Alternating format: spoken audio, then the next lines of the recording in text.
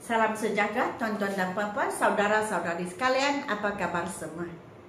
Nama saya ialah Dr. Lee dan saya berasal dari Bukit Mertajam di utara Semenanjung Malaysia. Buat masa ini saya tinggal di Keluang Johor. Jadi jikalau di antara kalian yang akan menduduki peperiksaan SPM pada awal bulan Januari tahun 2025 ataupun seterusnya. Uh, selamat menyertai program saya. Sesi ini saya akan mengajar kalian bagaimana menulis report jikalau soalan ini keluar dan kamu ingin mencuba soalan ini. Jadi sekarang saya di sini. SPM English paper triple one nine stroke 2 or paper 2. So triple one nine or one one one nine sama juga. So bahagian ini ialah extended writing. Di mana dari tiga soalan, soalan tiga, empat dan lima, kamu pilih satu untuk menulis. Sekarang saya sedang mengajar ataupun memberi tunjuk ajar ataupun berkongsi terpulanglah kepada um, pemahaman kalian. Sama ada saya sedang berkongsi memberi tunjuk ajar mengajar atau apa. So ini soalan number tiga atau empat. Extended writing di mana kamu dicadangkan untuk menulis dalam lima paragraf.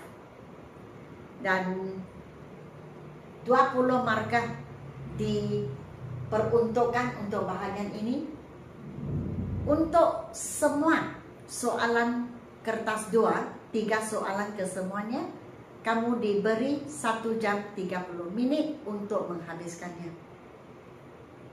Dan bahagian ini, sama ada kamu memilih soalan tiga, empat atau lima, kamu dikehendaki untuk menulis 200 hingga 250 patah perkataan. Jadi contohnya kamu tulis empat uh, paragraf boleh juga maksudnya dua isi satu pendahuluan dan satu penutup ataupun uh, kamu boleh tulis lima paragraf tetapi jumlah perkataan setiap paragraf itu kurang daripada orang yang menulis 250 patah perkataan. Jadi bagaimana menulis report? Inilah caranya. Saya sudah lukis. Kamu tengok sini dan ikutlah cara ini. Mula-mula kamu tulis tajuknya. Contohnya hari ini uh, tajuk saya menulis satu report tentang lawatan ke satu rumah kebajikan. Di sini saya beri contoh BB Old Folks Home. Uh, rumah orang tua-tua. Jadi di sini paragraf yang pertama kita boleh tulis di margin di sini Paragraf 2, 3, 4 Mesti kosongkan sedikit tempat.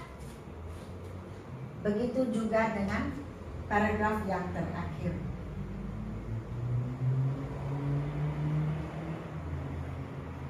Selepas kamu tulis semua Ingat Asal ianya formal Kita mesti Tulis di sebelah kiri.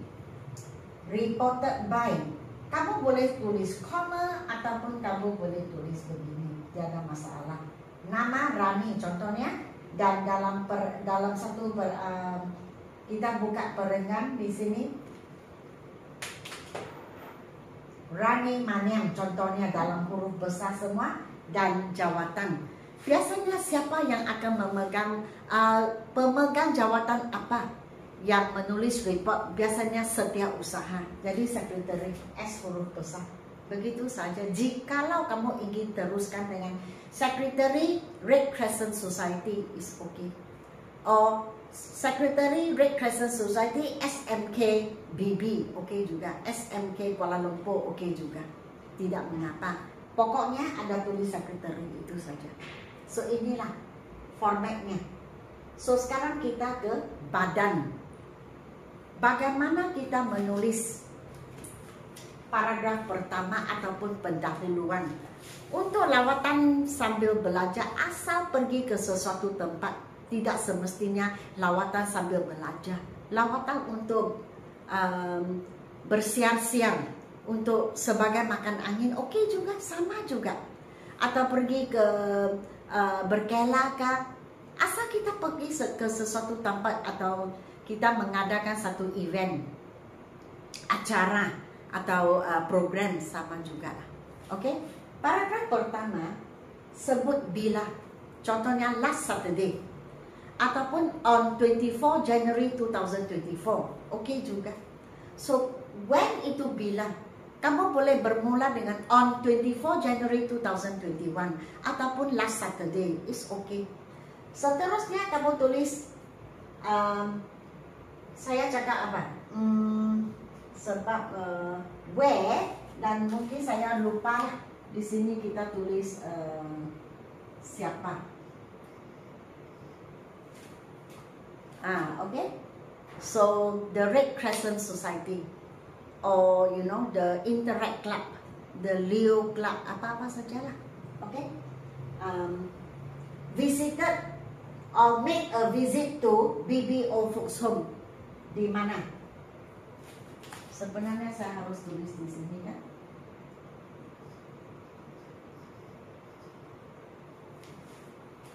Di mana? In Kluang, in Johor Bahru, in Ipoh, okay, or in kampung saya Bukit Mentajam, okay juga. Okay. And then ayat seterusnya berapa orang pergi, berapa ahli pergi atau um, mungkin kamu pergi dengan kawan-kawan atau rakan sekelas, okay? 40 members, 30 members, okay juga. Okay? Number of members. Join the trip. Join the visit. And we were accompanied by ditemani oleh siapa? Kalau kelab memang guru penasihat by our teacher advisors, comma, uh, Puan Haslinda and Mr. Chong. Mr. Chong Abeng okey juga, tidak ada masalah. Kemudian bagaimana kamu pergi? We chartered a bus to BB Old Folks Home. Or we chartered a bus to the Old Folks Home. Okey. Lepas itu, apakah matlamat? Apakah tujuan kamu membuat lawatan ini? The purpose of our visit was to make a small donation, to make a small donation, memberi sedikit sumbangan.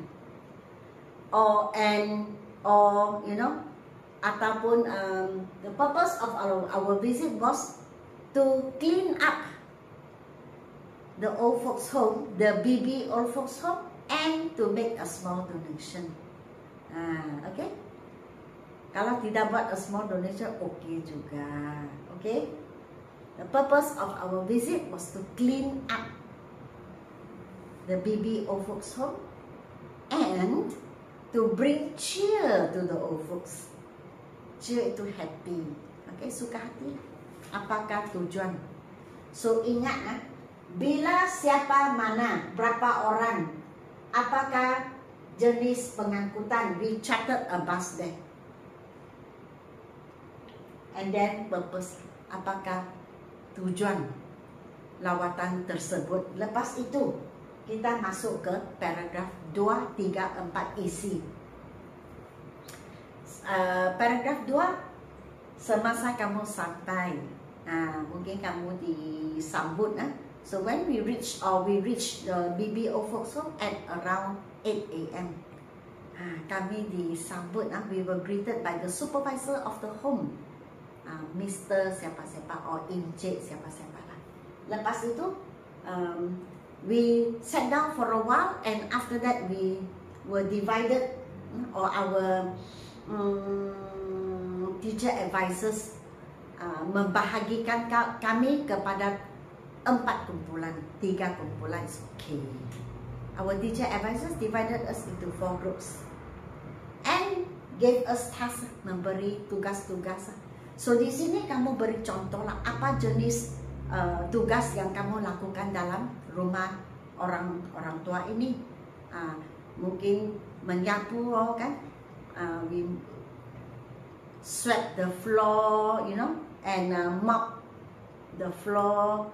And then the boys went outside to the compound to sweep the dry leaves as well as to throw the rubbish away and then um, besides sweeping and uh, mopping the girls also or we also is okay. Tiada masalah. Pokoknya kamu terlibat. Kamu sekretari tahu. Kalau tidak terlibat bagaimana menulis?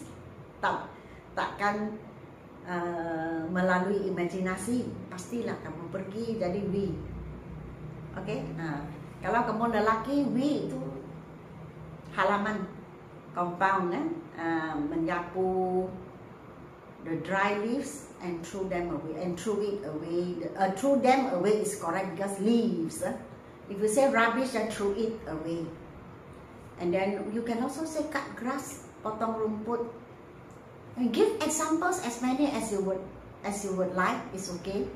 Uh, the girls went from room to room uh, to clean up their rooms and to make their beds so tidy their beds pun boleh juga okay after that uh, we threw all the rubbish away.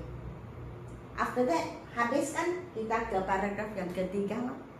So after finishing all the tasks given, we wash our hands and got ready for lunch.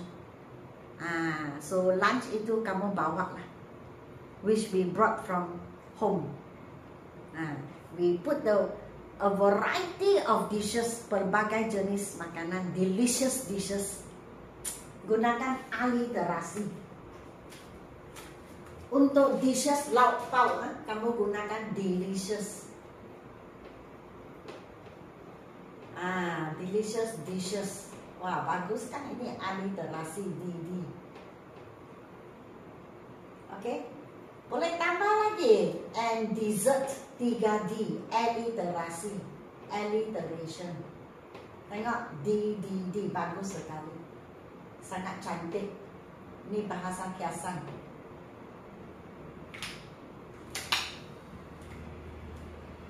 Di di dan di aliterasi.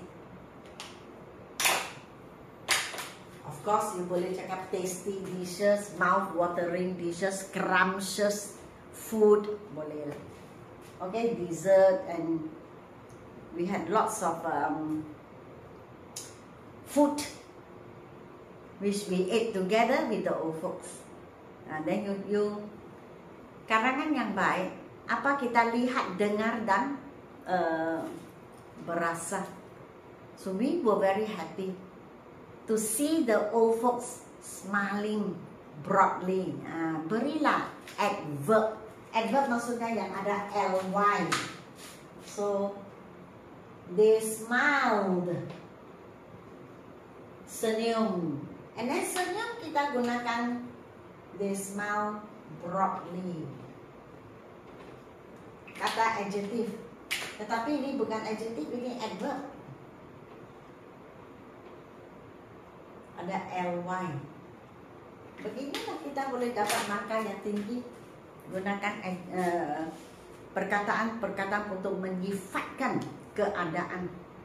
Okay? Wah, they laugh and chit-chatted with us you know we also enjoyed ourselves eating and chit-chatting with the old folks after eating we perform for the old folks jadi menyanyi menari ya we sang songs and we even dance and then you can beri satu contoh seorang pelajar Kenny played his guitar while we sang the old folks bagaimana Oh, very happy.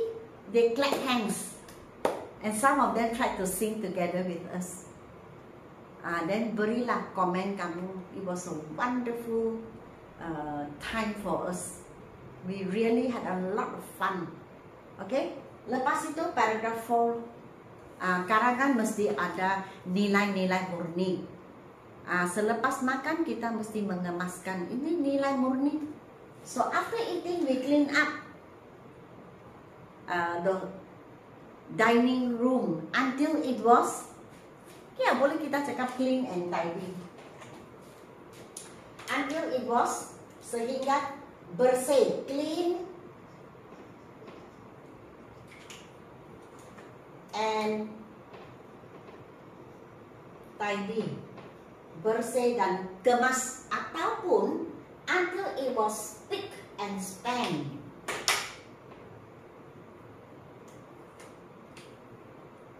Sama maksud saya gunakan hitam lebih baik.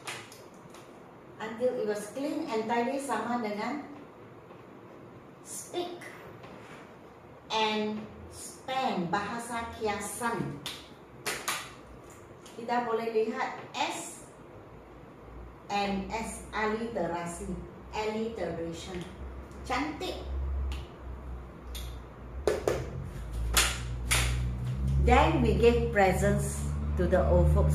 Each of them got a present, a hamper of goodies. Goodies maksudnya makanan yang bagus-bagus lah from us. And then lepas itu, then we took some photos with the old folks sebagai ingatan uh, for remembrance. We left the old folks home or we left the BB old folks home sebab sudah habis sudah tamat maka kita sebutlah satu kali lagi tempat yang kita melawat. So we left the BB the ada di depan. Or we left BB is also can without the the. Uh, we left BB or folks home at around 5 p.m. or around 4 p.m. Okay? Perasaan. Okay? You can berhenti di sini kalau kamu berhenti di sini, paragraf 3 kamu boleh pecahkan kepada dua. Satu khusus untuk uh, menceritakan tentang makan-makan gembira-gembira. Satu lagi paragraf untuk penyampaian kamu. Menyanyi, menari, memberi, uh, menceritakan. Kamu baca untuk mereka memahami berita-berita terbaru is okay. Jadi paragraf yang kelima ini clean up, beri hadiah, ambil gambar, pulang habis. Habis pulang, kamu tulis reporter by Rani, Rani Maniam Secretary. Tetapi kamu boleh tambah paragraph 5 dengan present tense. Apa yang saya katakan present perfect tense. So, kamu beri satu komen, satu ulasan, satu review tentang lawatan ini. So, The visit to the BBO folks home was a huge success. Sangat berjaya. Okay? Um, all the tasks that were given were carried out and the old folks were very happy. Okay? It was a success. And then apa kamu telah pelajari melalui uh, aktiviti kebajikan ini? Apa kamu telah pelajari? Gunakan have have untuk kesan. So from this visit, we have learned, the members have learned, okay juga, uh, that we need to take care of people who are, or number satu, to take care of old people, senior citizens. Or you can also say, we have learned to be compassionate, uh, to show love and care to old people, to old folks, regardless of their race and religion. We have learned that there are many unfortunate people outside that needs our care, that needs our love and care. Boleh juga. And we have learned that we should do welfare to welfare homes or to charitable organizations. Kita belajar ini. Apakah harapan kamu? We hope that this kind of visit, we hope that or I hope that also can. Okay, this kind of visit uh, will be organized every year because it has brought a lot of benefits to the members. And then um, tulislah reported by Rani Rani Maniam and then secretary or secretary uh, whatever club welfare club okay and then your school if you want otherwise to secretary is okay you know why because inside you already mentioned who went, so it's not necessary. But if you want to add, it's okay. Alright? Even here, if you want to write a report on a visit, it's okay. For me, I think it's not necessary because here you already write reported by. So it's not necessary even. Okay, so this is how you write a report. If you ever want to choose report to write, this should be the way. Okay, so I have um, explained to you. I hope that you understand what I have taught. And um, of course, I'm sure that you will be able to write if you have to write a report for your school exam, in your school exam or in, the, in your SPM later on. Okay, so goodbye and we will meet again because the next one I'm going to teach you is review. Okay, goodbye.